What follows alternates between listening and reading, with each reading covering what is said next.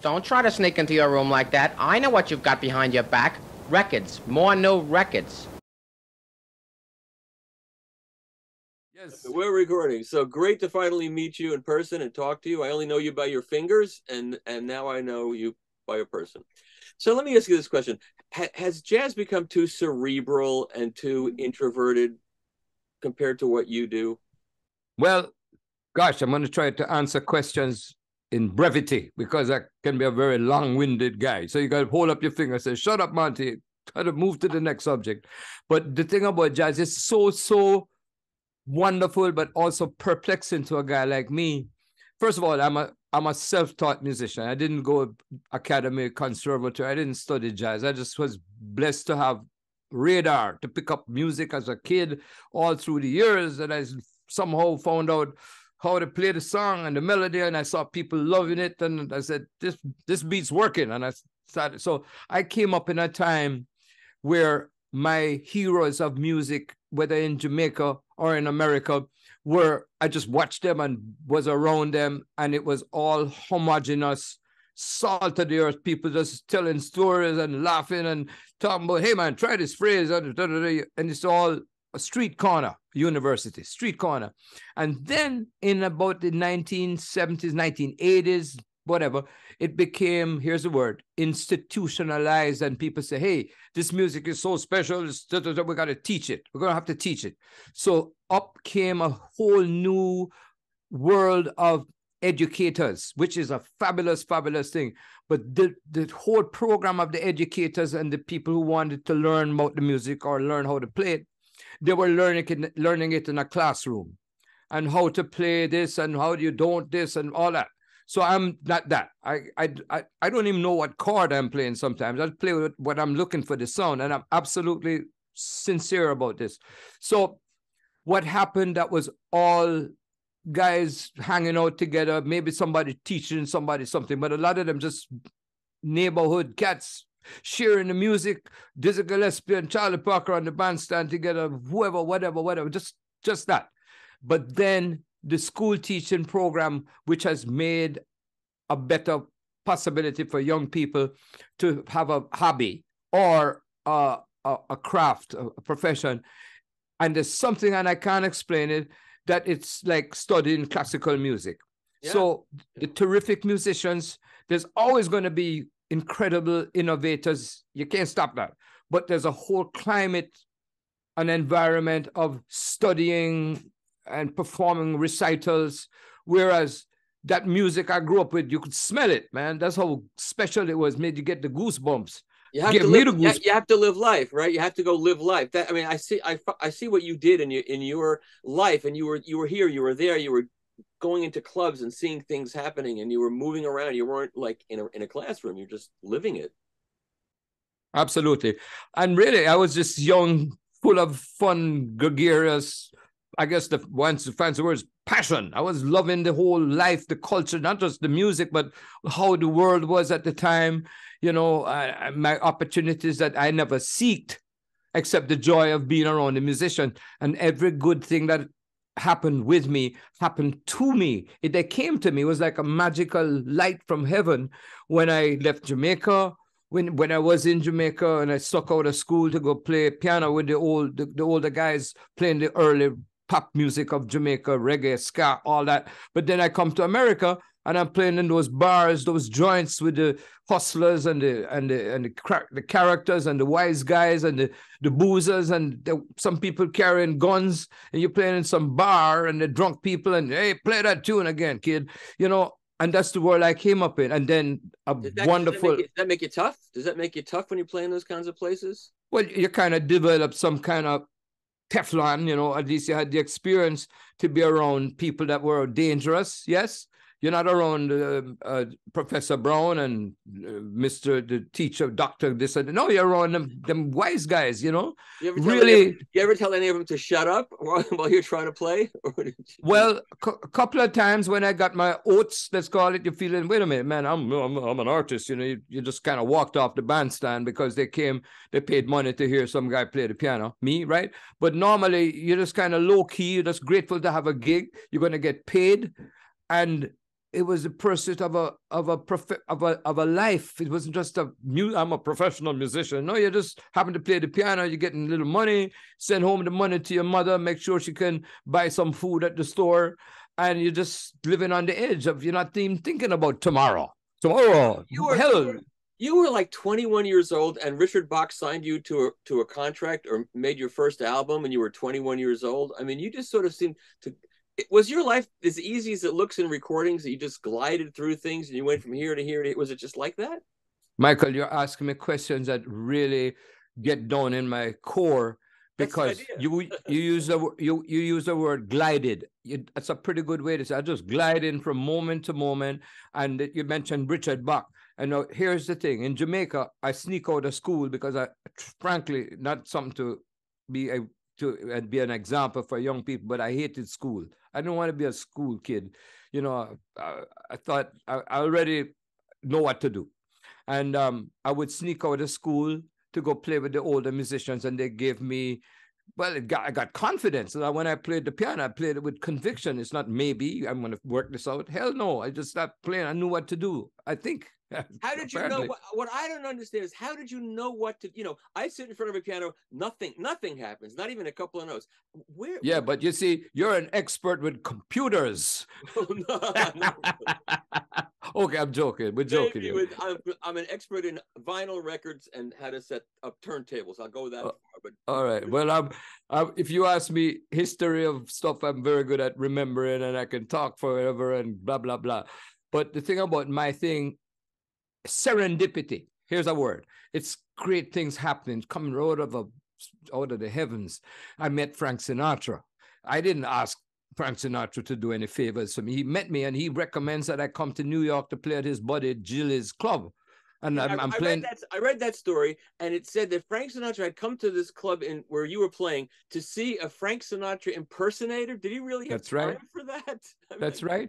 Well, you you know, Sinatra was a guy living life on the edge. He's yeah. performing at the Fontainebleau and he's tearing it up at the Fontainebleau Hotel in Miami Beach. I'm playing in some joint, really, on the bill with the Frank Sinatra impersonator. The previous week before the Frank Sinatra impersonator, Lenny Bruce, the comedian, He's yeah. playing there, and I, I knew Lenny, and those were the days oh. Lenny was ducking the law. You know, the yeah. cops were there waiting for him to say something terrible, and you know, so I was in that climate of hey, you know, people living on the edge, and, and Sinatra heard me, and his friends heard me say, "This kid is he's swinging. You know, let's get him come to New York to play at Jilly's. Hey, Jilly, give him a gig, something like that." So I go to New York, Sinatra, and while I'm at Jilly's, one night Les McCann walks into the to, to, the club and he saws me playing and we struck up a little hello. He heard me playing. He must have said, "Hey, this guy's swinging or whatever." And he tells Richard Bock that he should record me. So that's Les McCann. And then a few years later, Oscar Peterson himself. I wasn't trying to play the piano like Oscar Peterson. Nobody can play the piano like Oscar Peterson. But Oscar heard me play, and he must have been impressed. And he tells his record company people in Germany to record Monty Alexander. So Les McCann, Frank Sinatra, uh, uh, uh, Oscar Peterson. So all this is, I call it serendipity because I wouldn't be very good at seeking. I wanted to, but I didn't have the nerve to go to people and say, hey man, can I this? Can I? No, I don't do that. It so just came to me. Okay. What? So this record. Yeah. Uh, this is a great record, and this is how I actually got really serious into you at the at the Montreux Jazz Festival, and this is on MPS Records. So you were signed to MPS. Is all because of Peterson, yeah. Oscar Peterson. So, but go ahead, go ahead. Many rec- many records on MPS, right? Quite a few, quite a few. Yeah, and I went there first in 1974, and I, you know, I got there, and the thing about when I sit at the piano, right away I'm connecting to this joy thing, you know, yeah. it's this marvelous gift of wow, I'm going to play the piano and I'm going to feel better about everything. I'm going to feel good and I'm going to play that note, not that note. I'm bam. And when I hit it, I, I make, I'm not me, but this force coming through me is making the observer, the listener sit there and say, yeah, or groovy, or to start clapping to the beat because I had the sense of rhythm, uh, you know, and, um, anyhow, that Montreux record, was um they captured it. It's when this I say when the stars are aligned, a good night, I'm in a good mood. I see the people out there like maybe 2000 in that casino in in uh Montreux, 76. I got these two great guys with me who are going along with my shenanigans because we never rehearsed. We just go play, and they followed me.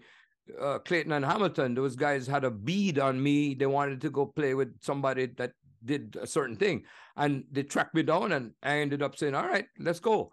And uh, that was one of many, many nights when I would be playing in front of an audience, small club or a bigger place. And needless to say, Montreux was kind of top of the heap place. You know, it's yeah, like, yeah. you know, and they, I, you know, went to this, went to play this, play that, play that, and they just followed me. It's just like I used to call myself, "Hey man, I'm like Joe Namath." And these are the Jets, you know. Yeah, I'm well, throwing the ball. you still have that energy. It's incredible. You have this well, hey man, this music thing gave me a whole life, you know, and I tell people this thing kept me out of jail.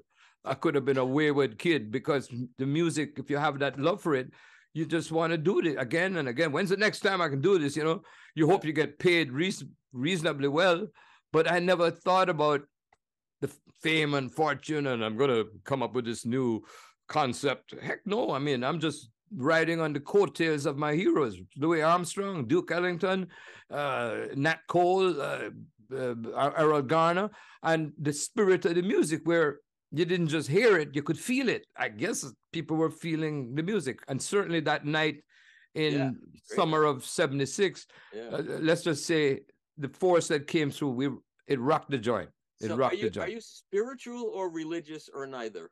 Or just what cosmic? I am I am a guy, yes indeed. As a as a good as a kid, I'm hearing the good news. The good news, the gospel. I'm hearing the gospel, this mysterious thing called faith. If you believe, and you have the gift to believe it in a way that things happen that you can't explain. I'm not talking about woo woo, voodoo, none of that. I'm talking about no disrespect to that thing. But you I had this, it came, my mother had it. She had the piano in the house. I started playing the notes on the piano. And I would say to this day, when people say, How do you do that, Monty? How do you play that? I said, Man, I don't know. And I say this, and I say it sincerely. I pray and I play and I literally that's really all it is. And and have you uh, ever hit a, a, a wrong note? I mean, oh man, boy, you ain't heard more more clinkers than me playing the piano. But guess what? I came to a point as I matured when I said, and I remember praying once, said, God, give me some sense of this music and how to make it have more meaning and da da da take me to and, and certainly I think that's what happened, right? But yeah. the bad note thing that you just talked about, the clinker, that's a part of it. And I learned that there are no mistakes. Monk said it. There are no mistakes with life, with music, because the mistake happened. And if you're halfway wise, you make that mistake some take you somewhere else, right? Yeah. And um, smarter people than me, they say that, right? And if you hear Miles Davis, Miles is playing a phrase and you get you heard the clinker of clinkers, but guess what? He's such a, a master of his craft that that mistake became the direction to go in that he may not have intended because so he's he can he, he take negative turn it to positive the first time you sat down at a piano when you were a little boy and hit the first note did that do it did that explode in your head is it an immediate sensation that wow or did it take four four year old monty yeah. i can answer that four year old monty little goofy kid it was my favorite toy, T O Y. I started and I go pling. I said, damn, delight. Man, I could, I made my own little sound on this boxing thing, this piano, upright, old upright piano my mom had in the house. She wanted to play piano, but she gave up. She wouldn't dedicate it. She sang in the choir in the church or something, and she had the piano. But the first time I put the finger plunk, and then I run, if you know about the music, and you take your thumb and you run down the black notes of the piano. This is just the black, not the white one, the black notes. And you run from the top to the down right away. I said, that reminds me of a waterfall. That reminds me of water coming out of this the rock, you know? I yeah. must have seen a rock already, or I saw it on uh, in a movie. And I, I start the music make me dream. I'm dreaming when I'm playing. And um, as I went along, I'm picking having my ears developing, and my mom saw that Monty, you're playing this piano, and I could play the rhythm, and I'm playing boogie woogie, rocking the joint, and the, the, neighbors down the street from the house where we lived, or the uncles and the aunts, they come near me while I'm playing and they're going, Yay, kid, swing, rock, whatever, you know. And I'm encouraged by this. And I'm sure it happens to so many other young people coming up. But in my case, the first time I touched the piano, it was my friend. That piano is giving me a beautiful experience. It's it's my third arm. You got the two fingers that I, it's extension of Monty Alexander, and that's how I felt about it. As the as you played better and better pianos, was did that change your experience? I mean, the better pianos give you a different experience? Good question. Yeah, because I was used to. Here's a good thing. You're turning a bad thing into a good thing. A lot of those pianos I'd run into were clunky, kind of clunky. It didn't sound so beautiful, but you found, check this out, you find a way to find something that makes you say, man, I was able to take that clunky note and play it in such a way with what other notes I would play that it would seem lovely. So that when I, these days, if I run into a broken down instrument, I, I don't like it, but you kind of find a way to make it work. But needless to say, as you grow, you start wanting to play on the better piano, be it a Steinway Grand. And then in my contracts, when I play, please, sir, ma'am, provide a nine foot concert Grand Steinway and a Yamaha also is great.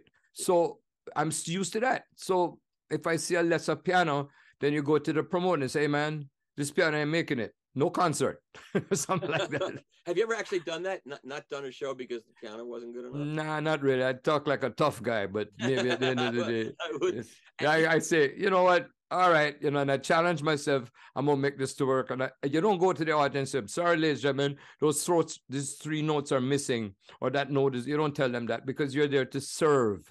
Yeah. I believe like we're serving a, a moment that's going to make th- that day better for those people sitting in the in the audience because when we do music it's a great privilege and it's a responsibility to seek the positive. positive and i just told a friend of mine i said i believe you know play the play the donut not the hole because you can't play the hole there's nothing, there's nothing in the hole except nothing it's so you play what you have that's positive. and and the heroes like the early guys playing piano nat cole when nat cole started playing piano the amount of time he run into a broken down piano, I guess Nat was such a master, he avoid the bad notes and he's stuck with what's working. And you you just by choice you do that. But it, it's nicer when you have all the good notes, you know.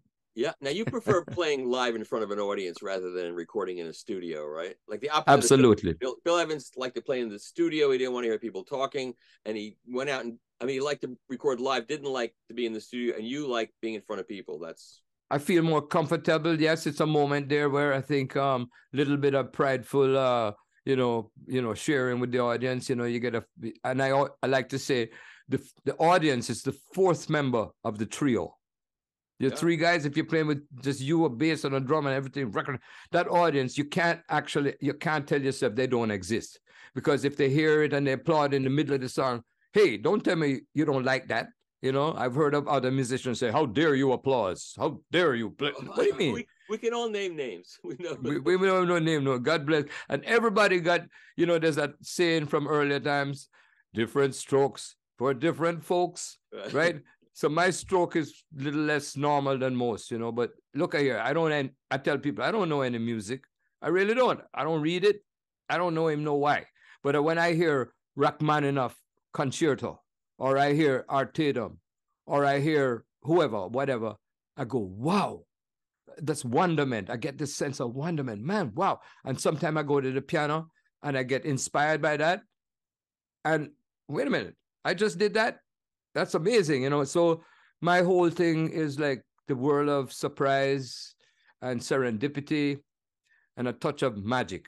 And That's you're me. Play, you're playing when you sit down and play, even though there's an audience there, you're playing to please you first, right? Number one. You have to please you, otherwise. If you got gracious people with you, goodwill people, people of goodwill, the musicians that you ask to help you along the way, right? Yeah. You're playing for yourself, number one. You're also playing for the other guys, you know? And we are playing for the people that spent their money, hard-earned money for some folks, to come come sitting down there and hear some joker play the piano and the bass and the drum. And I, I feel I was talking to a not to drop names, but I got to know Tony Bennett very very well. Tony, I became really friendly with this gentleman, and yeah. sweetest man and so sad the what happens in life to some people yeah. right now. Yeah. And um, he used to tell me, but I always believe he says, you know, it's a it's a privilege, uh, or we we were we're so grateful to be able to make music and the people are paying their money you want to give them this thing and let them know you care you know good and some people good impression huh that was a good yeah. impression you said wait but and the thing is he starts singing and you never heard a voice that voice is like wait a minute where that voice come from he's saying why you know like there but he starts talking like this you know uh, he's talking because he, he values his voice yeah and um he doesn't want to shout like when Miles Davis, who I got to know well, I got to hang out with Miles. He yeah. invited me to come hang out with him. He heard me play. I guess he liked it. Um, he was told they had an operation on his larynx, pharynx, whatever, because he had polyps. Yeah. Yeah. In fact, somebody once said, "Yeah, did you hear what happened to Miles?" I said, "What?" He said, "Miles got scallops." No, he means scallops, polyps. and Miles was in the hospital after the operation. The doctor said, oh, Miles, no, it's better that you don't talk for a few days. But Miles had a temper. And somebody came to visit him and he, he got angry, you know, and he said, all right, writing it down. He started shouting at the guy. And guess what? The consequences for the rest of his life, he was like this. Hey, man. Yeah, yeah, yeah he blew it out. And the same thing happened to Julie Andrews, by the way. Julie Andrews with that majestic voice yeah, I don't know if she was she shouted, but the, the operation was the wrong thing to do. Yeah. And uh, this the voice is such a valuable. I don't. Have, you, ever, have you ever made a vocal recording? Man, I had the nerve to just make my first out and out recording. I'd done a little singing through the years. Needless to say, my one of my heroes, Nat Cole. In shower and, uh... Well, in the shower, walking down the street, I I like to think that I was the next Nat King Cole as a kid. But a friend of mine said, "Hey, man, that's not NOT King Cole.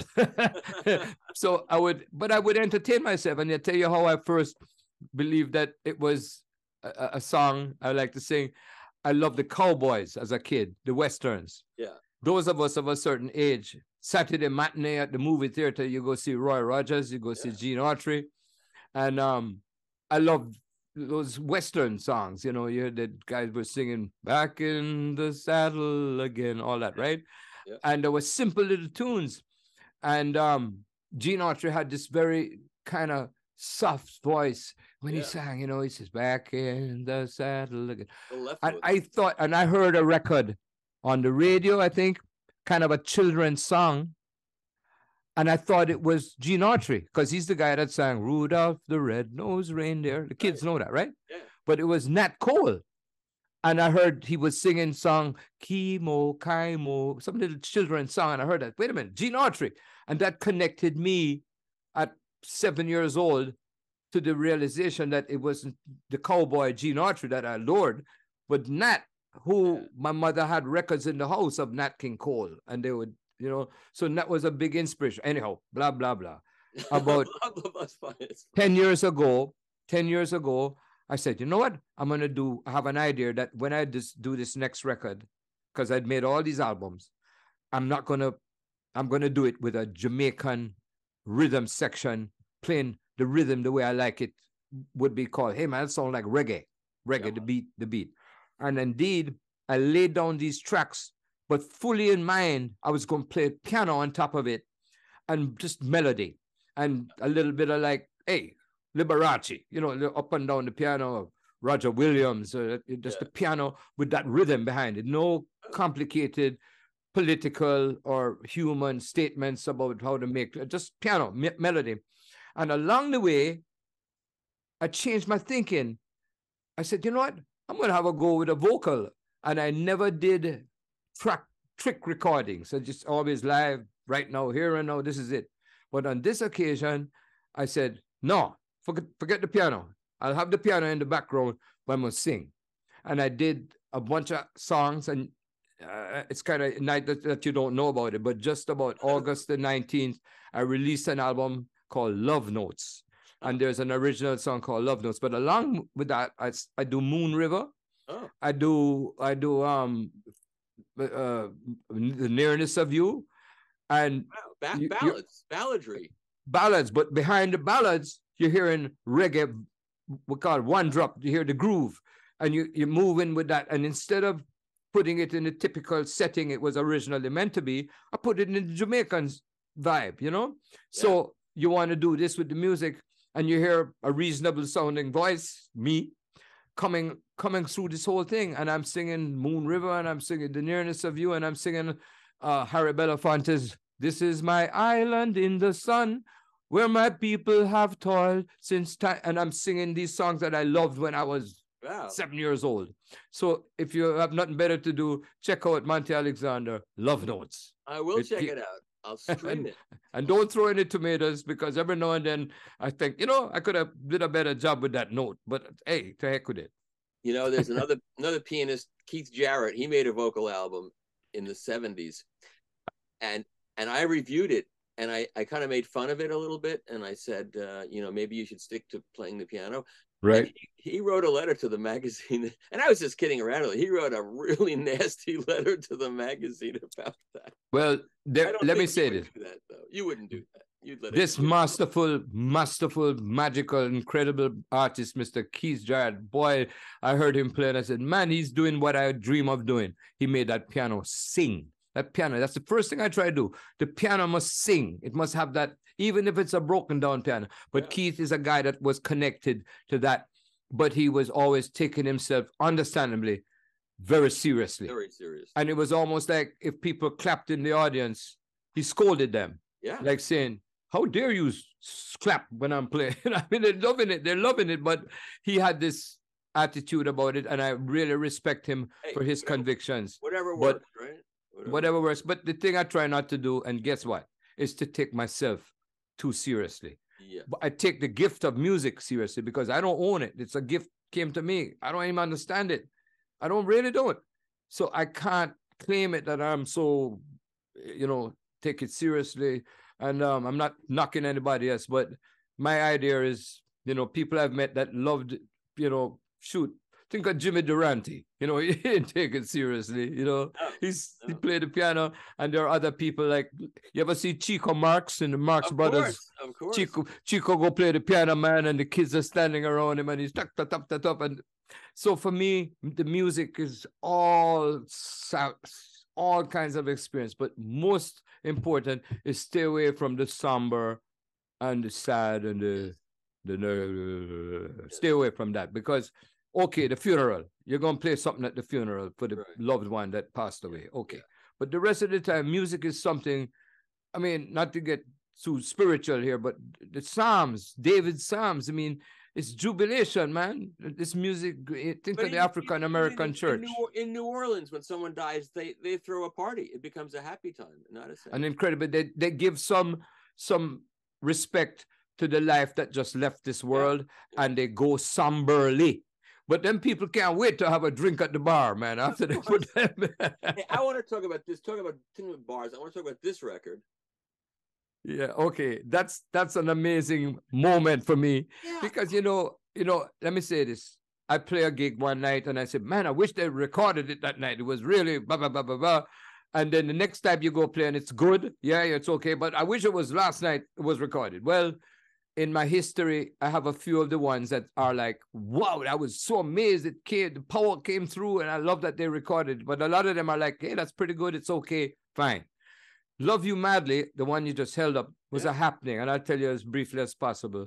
I was in Miami, and in those days, I'm I'm hit the band every time I hit the bandstand. There's a a roar of spirit and fire and swinging and piano playing, and it's wow. How about that? I'm really in my my realm, right?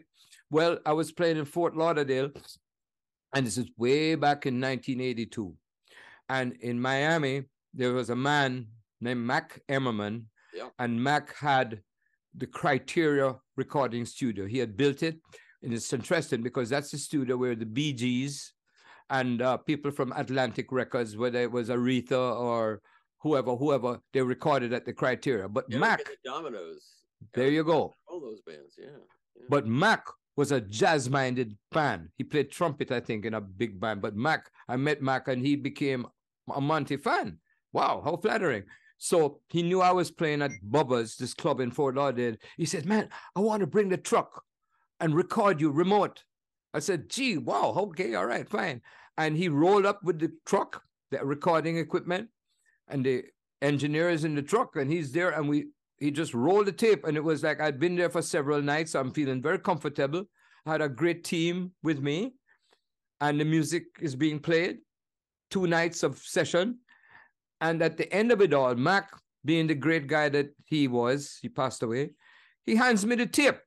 These tapes, I mean, they weigh a ton because go back to the years of what 35 track 24 track i don't even know what it was tape. yeah two inch tape. yeah they, they weigh a ton each and you know and at the end of that i never really even listened to the tapes and this is how 82 can that be? how could how could that because, because i didn't have a tape recorder i didn't have the, to play 24 track i'm really serious a friend a friend of mine was a fan and he recorded a cassette, you know, just when the advent of cassettes that were yeah. just coming.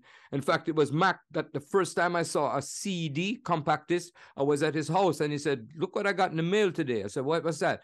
Look at this thing. I said, This little thing like this. I said, What is that? He said, It's called a compact disc. Look, you can throw it across the room. And Mac threw it across the room to demonstrate that it was not as perishable as a vinyl record you know what I mean? It is, so, but that's all another story. It is pressure, pressure, but but it's this like almost yeah, yeah, yeah. steel, whatever it is. But the point is, he gave me the tape. I put it in the storage room. It sat there, and I said, "Hmm, uh, one day I'll hear it." And and did you forget store... about it? Did you actually forget? Yeah, because you see, I have boxes, boxes, boxes of cassette tapes of people that recorded me. Some, most of them without having asked permission and I had the gumption to have somebody that was with me confiscate the tape because you don't you don't have the right to do that. And I have this feeling that yeah. every time you make a musical statement, it's a little piece of your soul. You know what I mean? Yeah, and for somebody just to grab it, it's mine, it's mine. And yes, it's a commercial thing. Like I see all the LPs behind you. You know, it's something of value. So um, anyhow, I had the tape in the storage room, several storage rooms. You move from one place to another. Wow. And I had the occasion to meet Mr. George Klabin. George Klabin, who I knew from the 60s, who, who kind of was a hobby as slash profession, had a recording studio even in the 60s, early 70s called Sound Ideas. And George always would come to a gig where I was playing and say, you know, his, his eyes would widen with enthusiasm. He said, man, you're special or something like that. And I'm I'm trying not to believe it. I don't want to think I'm special, but I'm oh, Too unique. Late. Too, Too late. late. I'm unique. And George had his record company, Resonance. And he said, I want, and I, so he said, you got any old cassettes, recordings? And I said, I guess I do. So I've, i like the idea that music would come out with a guy that cared so much about yeah. the quality of music. Not we're not here to make a lot of money, but we're just here to share the music. And I sent him various things, and he he was impressed. I like this one. I like that one. I like that one. And okay, nothing came of that.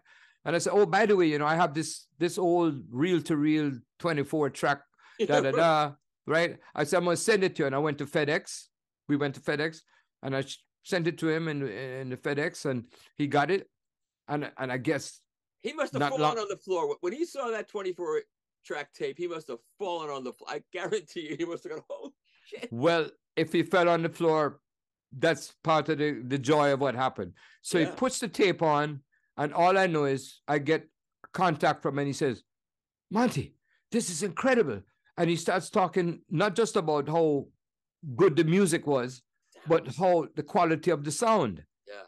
I said, really? He said, what? I didn't even write. And I told him the story of Mac Emerman, yeah. who was a very nice guy and how the whole thing happened. And he said, man, I want to release this. And I'll tell you, it's the truth. It's the truth. It's the truth. I gave it to him. I gave it to Chris. I said, listen, don't even pay me. Put this thing out. Because for the last 30 years, 40 years, I wasn't th- even thinking about it. And it could be a nice thing just to remind people that I exist. Okay. It's you phenomenal. Know, it's a great. It, it should. You know, it was a record store day special thing, but it really should be in in wider release and promoted more. It's fantastic. I played this. Well, you, Michael, you write a letter to George Klabin or email him and tell him blah blah blah because I know it. So that recording is me, 1982, and I'm playing and everybody's digging it and the yeah. audience is and and also during those, it's a similar kind of release to this Montreux years, yeah. which just came out on B- BMG people, yeah. And um, that happened. The, the the good people that decided to release this music. It's a collection of tracks called from several performances, yeah. like from 93 or something. But I'd been there from 1976. I'd been there over 20 times to Montreux, you know? What a special place, right? It's an amazing. I was just there this year. It was incredible. Well, it's like. See, I got to see all the tape library and I got to see this many of your tapes. There's like a whole section, a large section of your what what what Michael Claude Nobs, who was a very unique child slash man. He yeah. was like a big kid. He wanted to see people happy. He loved music. He loved started. I mean, the first year in '67, he had Ella Fitzgerald, Basie, yeah. whoever, whoever, whoever. And uh, when you went there, when you say it's a special place, I say it's like Disneyland. You go there and it's like toys and the mountains yeah. and the lake. It's the most beautiful area and the music comes, you know, and every year it's been what over 50 years now when they have the festival. It's like people and now as the world continues and younger people come in and you have yeah. the, the, the, little pop groups from all over the world come in there with names that what was that? Who's these people? You know, it's not it's not even, you know, they have two or three really recognized jazz artists like Herbie Hancock George Benson might come, yeah. the real guys that big audience draws. But in general, it's more like a, a, an eclectic gathering.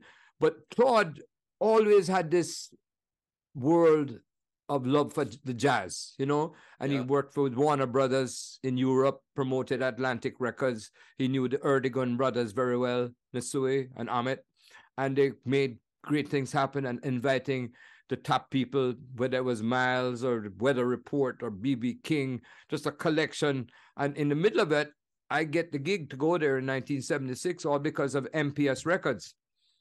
And first that came. That was your first time there? That was my first time. That was my first time. And uh, talk about serendipity. The first record I made, Alexander the Great, was Richard Bock and Les McCann told him to record me. So you have Sinatra getting me the gig in New York. And you have Les McCann hooking me up with Richard Bock at World Pacific Jazz label. And then you have the one and only Oscar Peterson hearing me and telling the guy at MPS to say, you got to record Monty Alexander. And that's how I got the gig. Yeah. Because these wonderful men of music are telling me telling people, you got to record Monty, something, something, you know. And I just sat back saying, man, this is like, how is this? Because I wouldn't know how to go to beg somebody for it for a gift. I don't have that personality. I, I don't know. So this magical stuff is happening to me. And I feel like it's still happening in, in my life. In two days, I'm going to Mumbai, India. Wow. Oh, two two weeks ago, I came from Tokyo playing at the Blue Note. So I'm still getting the gigs, but I'm kind of outlier with music and the scene. I never did the PR people promote this, promote that, I, I, and the little record companies, whether it was World Pacific or later on the beginning of Concord when Carl Jefferson yeah, started sure. it. Yeah.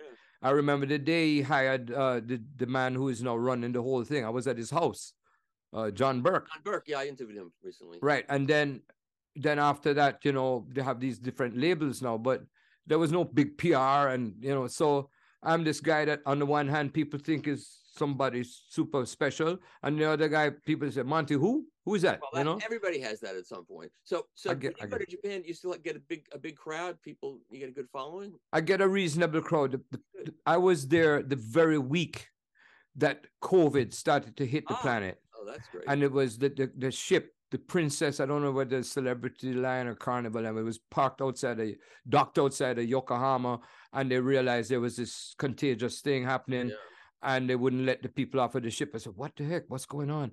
And you know, you realize, "Uh oh, uh oh," and then we came back to Europe from Japan, and then that's when lockdown stuff started to happen. And just three weeks ago, I had an engagement. I was over there for eight weeks, and we had a pretty good turnout. But it's still people coming out of this.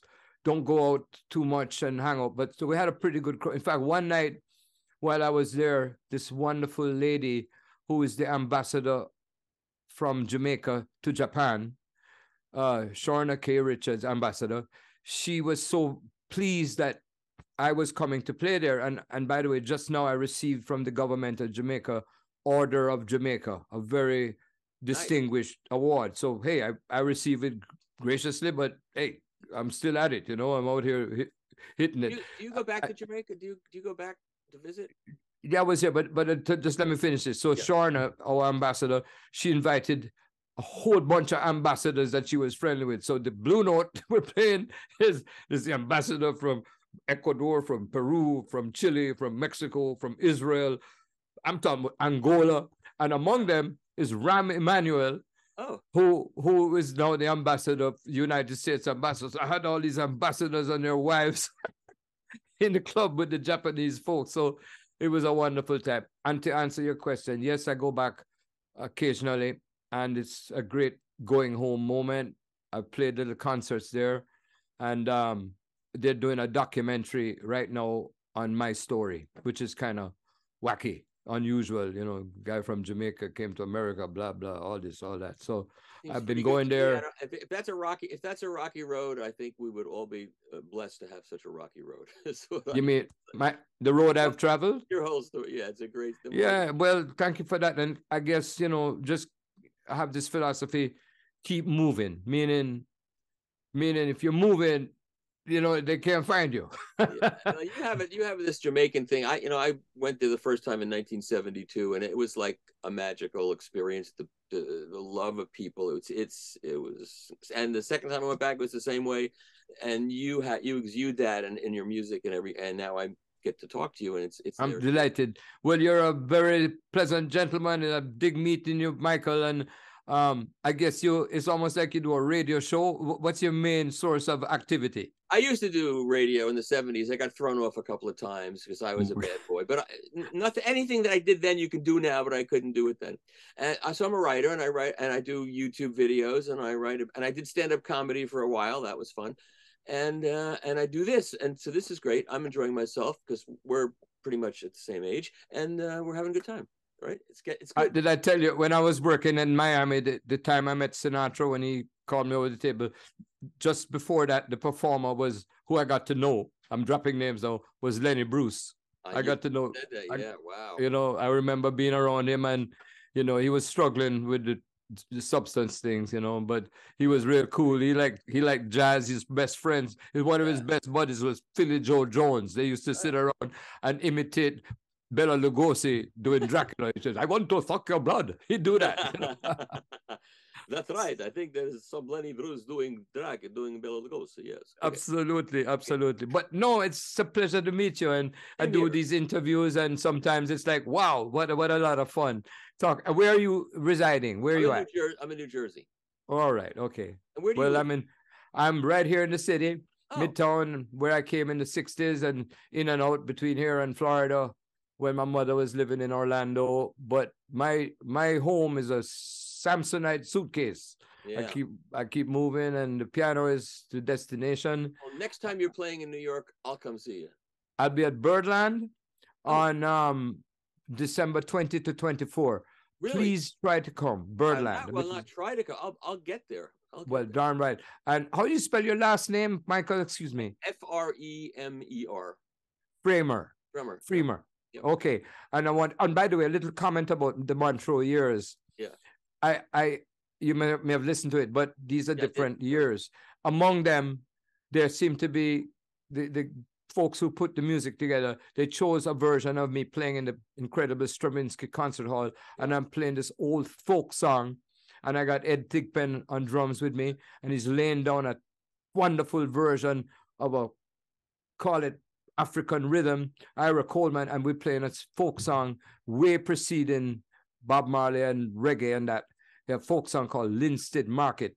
And they're taking that song and they're playing it on the radio and they're promoting it.